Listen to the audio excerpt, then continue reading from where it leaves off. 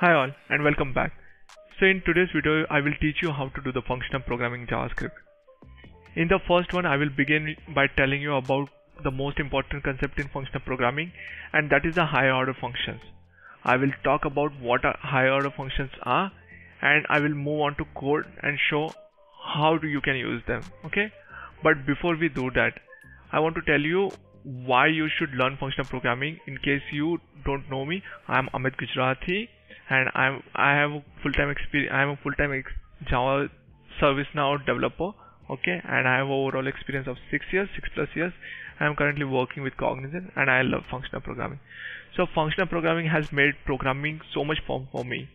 Uh, if you have been pro programming for a while but haven't tried your hands on functional programming before this video is gonna change your life so learning functional programming is gonna make you so much a better programmer. You'll feel uh, more much more secure with the quality of work. And it will be a lot better and you will be on more slight of out. You will be able to write programs with less bugs in less time. Your code will have less bugs because your code will be easier to reason out about and uh, you will be able to write in less time because you will be you will be able to reuse the code again and again. Yeah. So let me first tell you about higher order function because that is going to make make you a super developer okay? In javascript and in all functional programming functions are values. Let me show you what exactly I mean in the natural habitat okay? So this is my personal instance and today's topic is um, higher order function. Okay and in that we will be looking into it's a part of functional programming okay? So you must be aware about okay this function. If I write something like function which takes one argument which is x and it returns return x into 3 so if you are not um, aware about functional pro about javascript also then also you can understand what exactly this logic is trying to do. So basically what is doing it's accepting one attribute called x and it's returning x into 3 a lot of people ask me on a scripting manner and they ask you where exact from where the exactly this black background script is coming from me. So it's coming from a plugin called SNUtils which I use pretty frequently. Okay? So this is how the function is built. Okay? But uh, no other programming language can do this. Okay? What?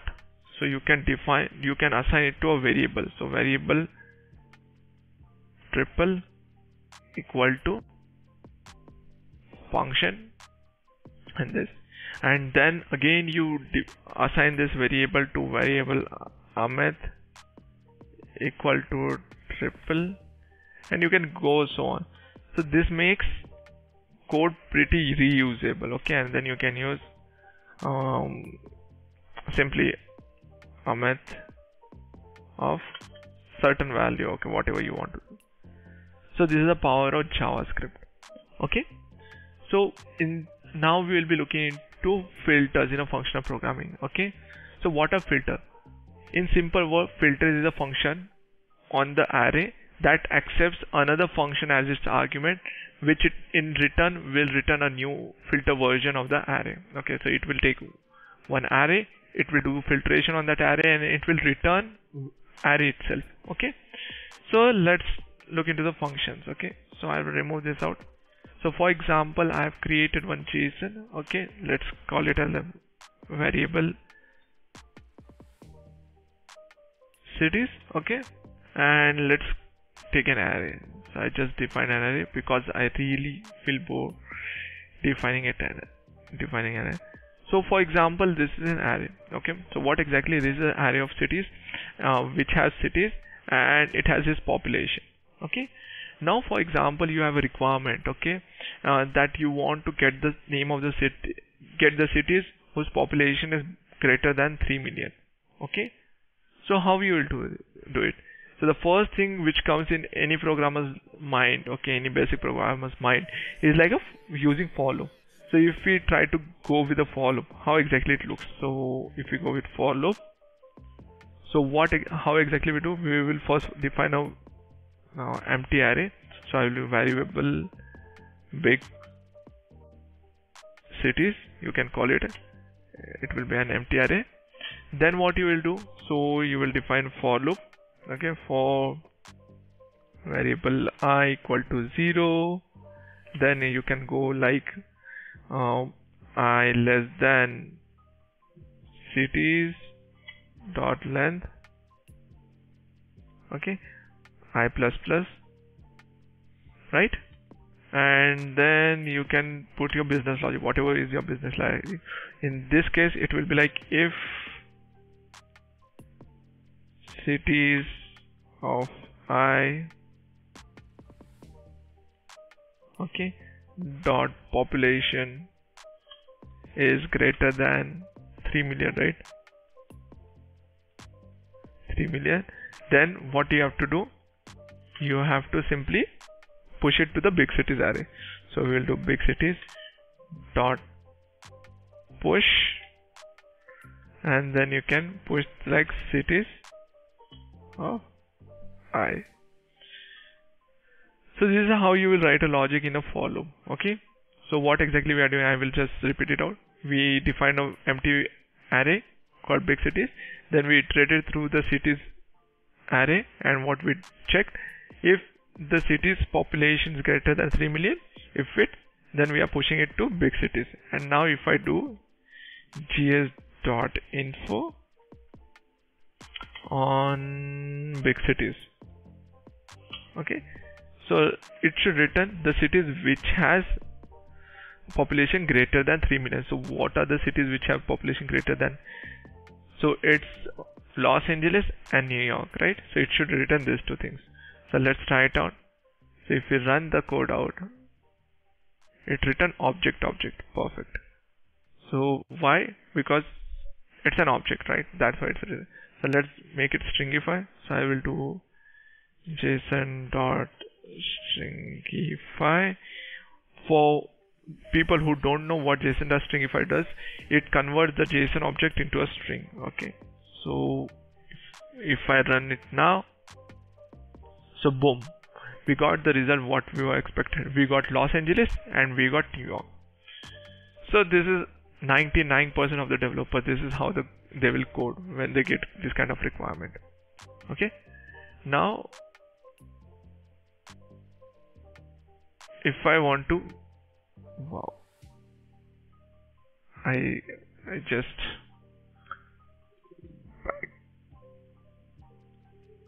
background script. This is the disadvantage of background script you can say so I will take that array again. So this is how the for loop looks like. Okay. Now if I want to do the same okay.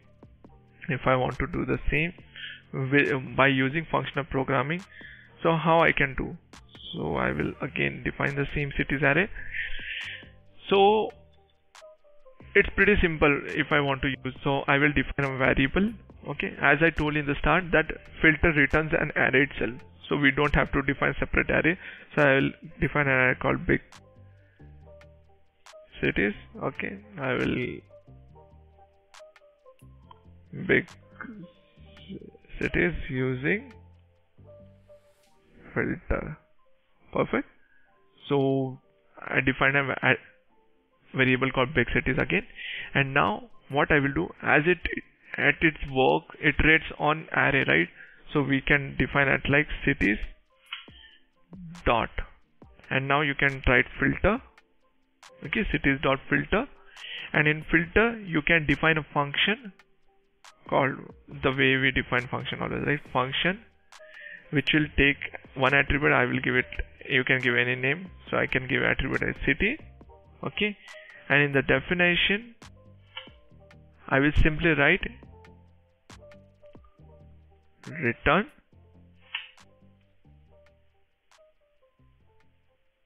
Cities sorry it's city right? City dot population right? This attribute. City dot population is greater than 3 million. Okay? And that's done so you have seen the previous for loop which I I lost. Okay. Mistakenly lost. And you can see this. Okay. So if you can see how the code is reduced. Okay. And uh, we are not using any complex commands also here. Okay. So first of all let's see if the outcome is coming fine or not. Okay. Else I will feel ashamed. Okay. So let's try it out. So I will do gs dot info. Okay and I will in start only I will do json json dot string key and I will give big cities. Let's see how it comes. So if I run it now we got the same output. Okay but with the lesser code okay so this is the strength of of higher order function and in this sense it's filter. So what exactly we are doing over here? So we took the array okay we put the dot filter and we defined a function okay which will take one attribute. It's an inline function and what we are doing it will push things into this big cities whenever this particular statements turn out to be true. So for New York and Los Angeles as the population is greater than 3 million it will return true and whenever it's written true it will push it to the big cities and we got the result. So you can do one more thing okay? You can simply separate this function down also okay? So for example I will I will what I will do? I will take let's I will take this function out. I will take this function out okay control X okay?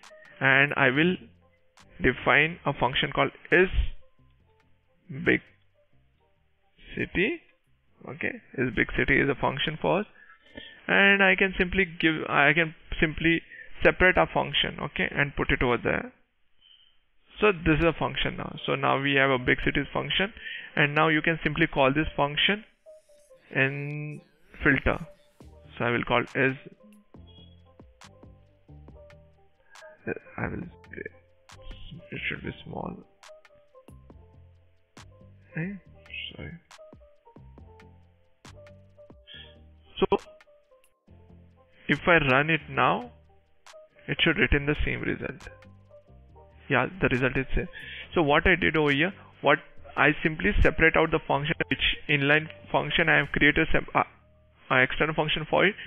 So now this function is decoupled from this logic so you can use this function wherever you want okay? Independently of this filter and in filter also we are using this function. So this makes the code reusable okay? So this is how the filter works okay? It's pretty easy to use. You can define any function and you can simply call that function in order to do the filtration. In the similar way we have we have another function called reject. So it works exactly opposite to the filter.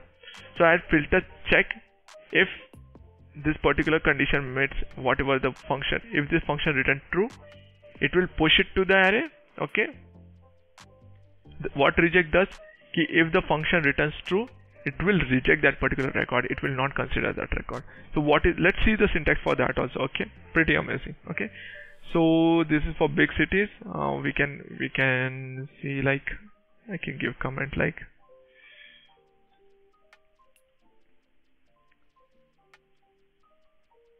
filter result. And as I told that rejects works exactly opposite to this right? So you can simply we can consider function uh, let's define another attribute. We'll give variable not big big city okay? So which is opposite to this okay? So we like cities dot reject. Okay? This is the syntax for reject. And oh why I'm doing over here. Sorry for this. Control X should be over here. And it will have the same attribute called mm, is big city right let's copy paste. I'm really good at copy pasting okay? So what this function will do it will check if the uh, population is greater than 3 million then it will reject that particular record. It will not consider. That means it's taking the other subset which got excluded in the first one. Let's try to print that also.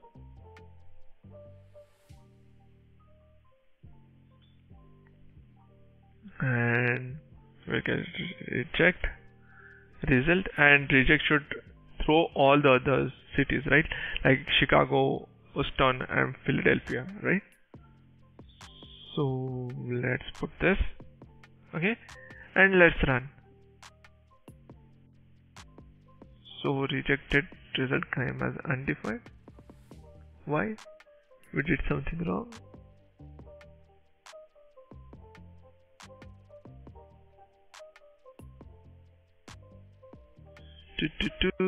ideally it should work. Why it's not working? This big city is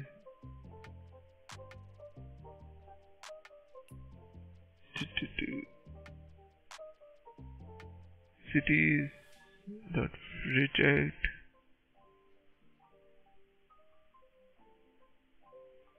mm -hmm. I'm not sure what exactly is happening over here with reject ideally it should also work.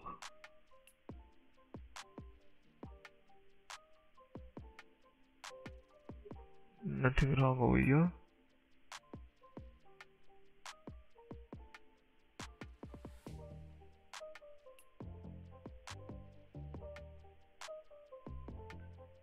I have to check on this. Okay. Let's try to something if I missed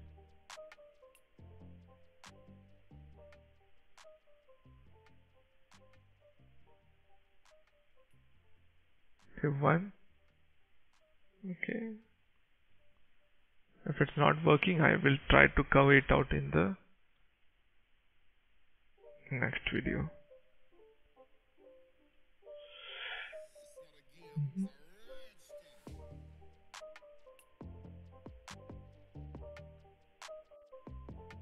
This is also not. Oh, sorry, sorry, sorry, sorry, sorry. I'm doing JSON.stringify, right? How it will come with this?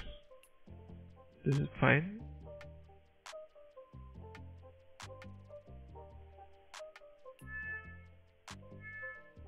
so in this way you can use filter i'm not sure about reject but i will check on the same so hope you like this video this is how you can reduce using fil- uh, for loops make it shorter beautiful and use filter to make code more reusable and easy to understand hope you like this video.